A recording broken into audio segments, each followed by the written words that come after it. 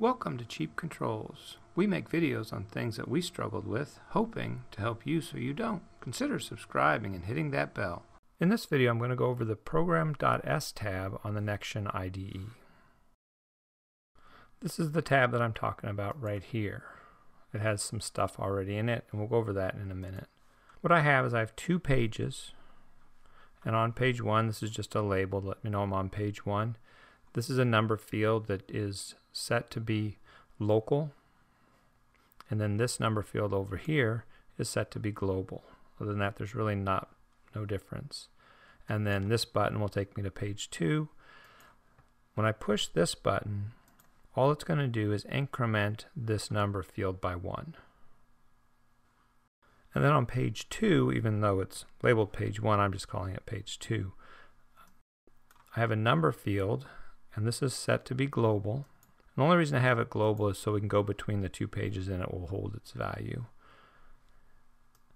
I have a button to take me back to page one. And then on this one, though, I do a little bit different. I'm incrementing this number field down here.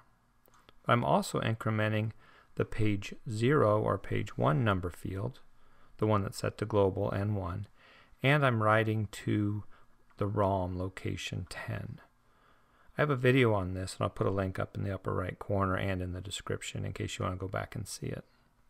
But I'm not going to go over the, uh, the ROM in this video. I'm going to run this now just to show you how it works before we mess with the Program tab. When I push this button, you'll see that this will increment. And that's all it does. It doesn't do anything else but that. But we're going to take it up to 10, or 11. Now we'll go to page 2, and now when I add this, it's going to increment this button or this number field, and it's going to increment the one on the other page, and it'll also write it to ROM. So for right now, we're going to increment it four times. So now when we go back to page 1, it should be sitting at 15. And it is. At this point, we're able to increment this number field with two different buttons. And there'll be a reason for that because I want to be able to change this button differently or this number field differently so you can see the change.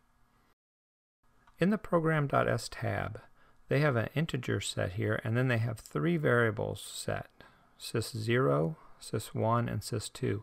And this, these are global variables that you can use anywhere in the program. And I'm going to dig into this a little bit deeper as we go. And then down here though, this is the page number that you're going to go to initially. If I change this to 1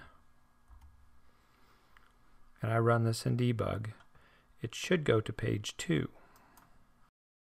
And it opened on page 2 because this is really page 1. I just have them labeled that way. What's interesting is all the global variables that you set have to be set as the first line up here. This up here is, a, is just a comment. And if you were to read this, it says that at present in the program.s field, all you can do is set variables to be of integer type, 4 byte integers. If you know much about the Nextion, that's all they have. If you want to use the string type, you have to do that in a variable that's dedicated to a page, made global. But the last line that's run is this page selection. And when it's run, you can't do anything else. So all of the code that you put has to go in between this and this. And we're going to get into that and I'll show you, I'll do some different uh, examples with it in different spots and you'll see that sometimes you get an error, sometimes you don't. But what's kind of interesting is you can set your own variable here. So I can set enter oh, integer and I can make it be, well let's just try a, a word. If we put in covx and we set it equal to 50 and we do a compile, you get an error because that's an actual instruction. And so that's a good thing that it errors that way. But if I want to set it to cheap controls, let's say, and I do a compile, you can see that it works just fine. And now what's fun is you can use this cheap controls anywhere. So you could assign your own global variables up here. So if I want to go to page one, and let's say on my pre-initialize event or post-initialize event, I want to set n0.val equal to cheap controls. And you can see it even comes up as a tooltip. And now we'll, we'll debug it and you'll see that N0 is set to, oh, I've got this still set to go to page 2. You can see that it's set to 50. So then you can use those, those values you set anywhere in the program. But you can also set the value here. So we can say, once we've created the value, we can say, since page 0 has a global value of n0, or of n1, dot val will be equal to cheap controls. Now if we compile this, you can see that it works. And now if we debug it, it should set both the values equal to 50 because on page load it's going to set this one to 50 and then our code, our program S is going to set this one to 50. But let's just change this back to 0.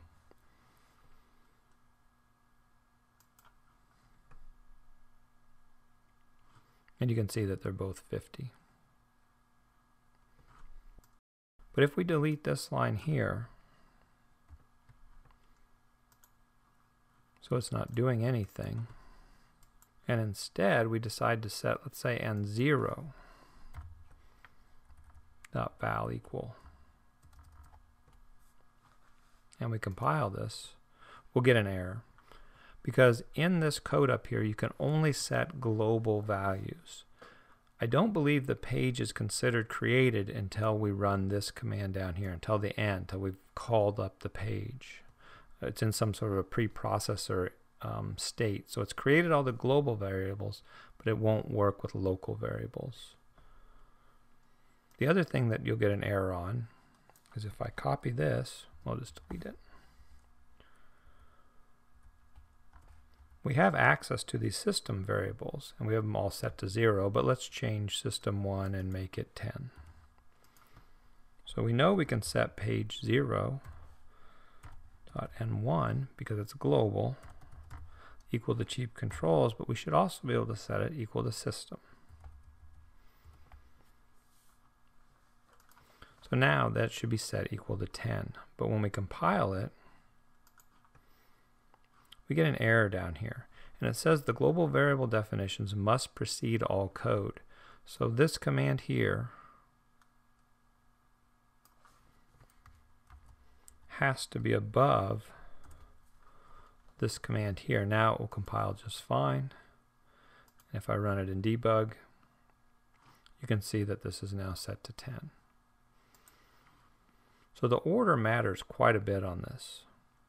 But you can have some fun because on page 2, so whenever we press this button, we set this number field, we increment it, and then we set the ROM location 10 equal to it. So in our program S, we could we can take that program S and initialize this N1. We can't do N0 because it's not global, but we could set N1 equal to that ROM value. That's the repo command. So you put what you want to set, and then you put the memory location. We're going to override it because we're setting it here to system 1, and then we're instantly overriding it. But it should come out, and we'll, we'll have, to, we'll have to restart it once to make sure that it works.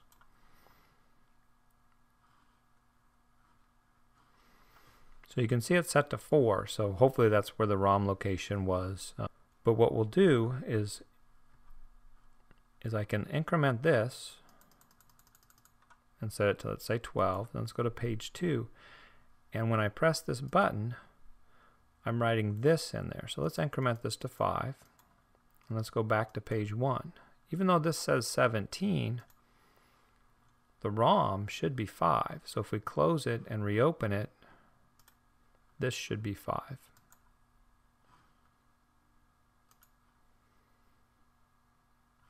What's nice about the debug on the Nextion is it retains those ROM values between sessions. I did run this on an actual display and it does work fine. I just thought for the video it'd be easier to show you in the uh, simulator or the debug.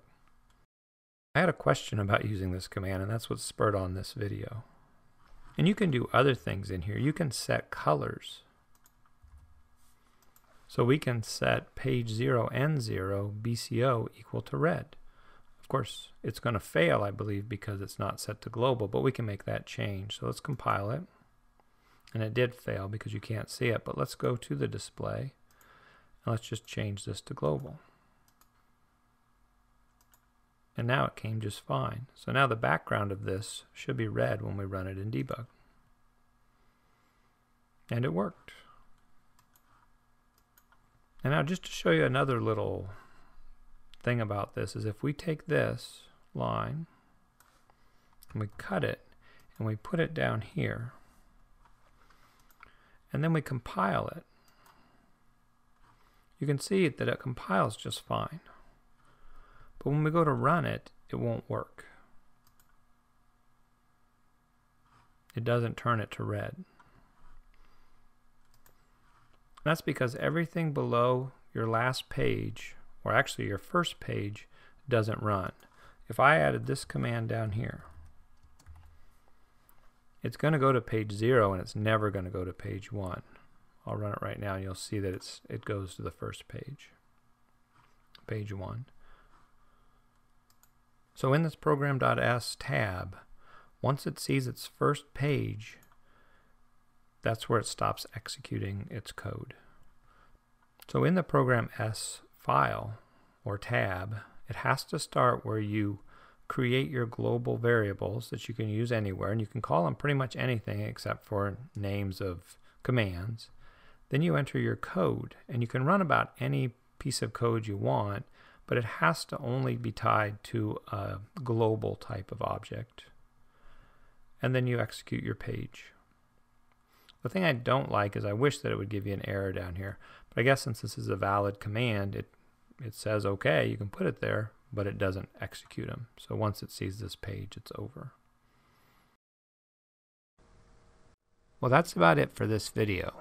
If you like what you saw, consider giving me a thumbs up, and also consider subscribing to the channel. Thanks for watching.